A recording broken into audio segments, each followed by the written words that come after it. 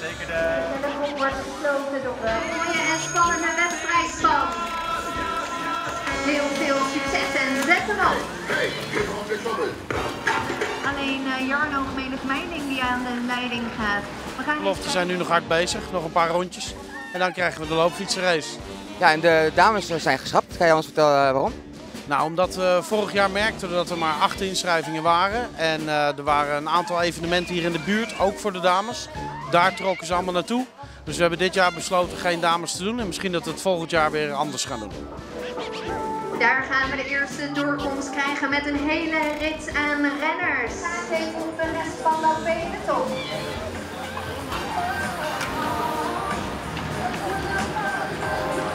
Al te winnen vijf jaar terug. Het zou toch mooi zijn als hij uh, dat nu weer fit te krijgen. Maar dat zal niet makkelijk zijn. Zet hem op.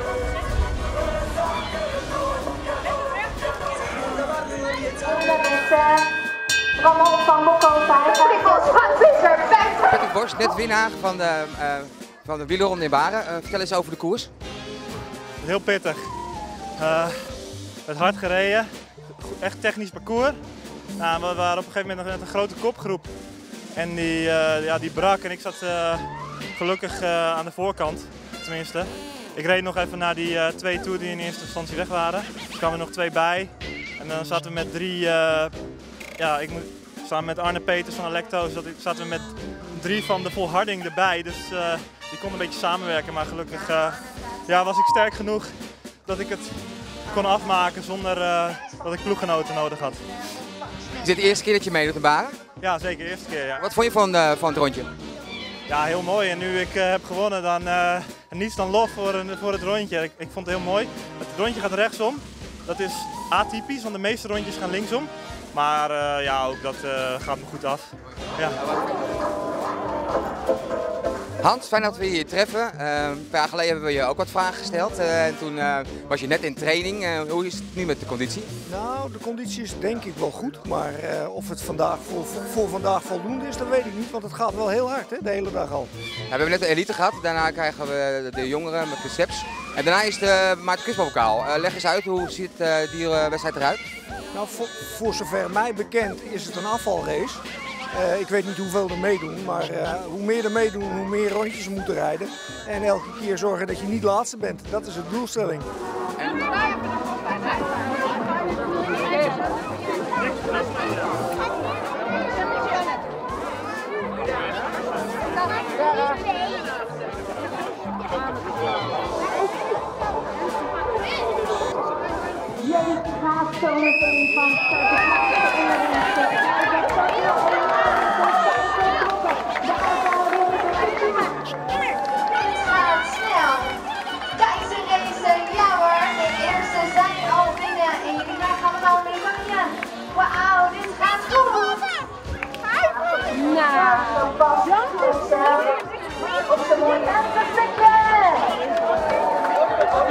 Medailles zien. Meisjes kwamen er hier voorbij.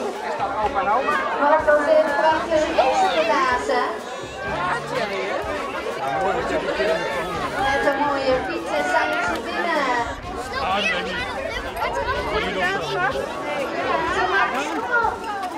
Een uh, voorsprong voor deze mannen.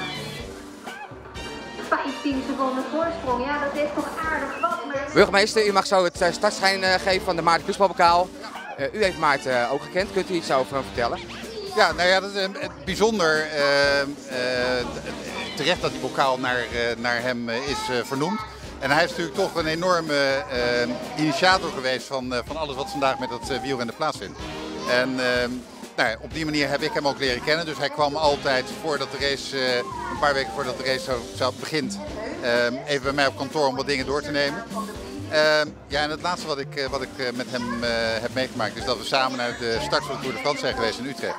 Ja, dat was wel een bijzonder moment. En dat vond ik ook wel mooi om een klein beetje terug te kunnen doen voor iemand die zo bevlogen was met dat fietsen. Uh, nou ja, dan Tour de France is natuurlijk wel een heel moment om dat uh, samen, samen mee te maken. Achter je aan.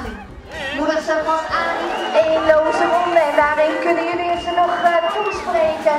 En dan kunnen ze vast even de ronde. Heel veel succes met z'n allen. 45 minuten wedstrijd, startschot heeft geklonken. Zet hem op. Bittelen. Gedubbelde renners mogen deze groep gaan verlaten als die daar nog in zitten. Dank jullie wel. Helaas weer teruggepakt door dat peloton naar uh, Patrick eh, Bos en Elias de Bruyne. Mannen achter zich aan. En een van die mannen is uh, Pieter Verhoeven. Met de Jarno Gemelik Martin van Plateringen, maar ook weer uh, Matthijs de Leng. De sterke Frank Visser hier vooraan in dat peloton, maar ook Robin Mannekes is nog voorin te vinden. Net als uh, Wiebe Scholten. Die mannen verzoeken aan Ernst Wittel. Twee komt er hier als eerste over de finish. Ik wil wel een sprint zien. Kom op! Ja, goed gedaan deze filmklassenwedstrijd. Jan Bassa.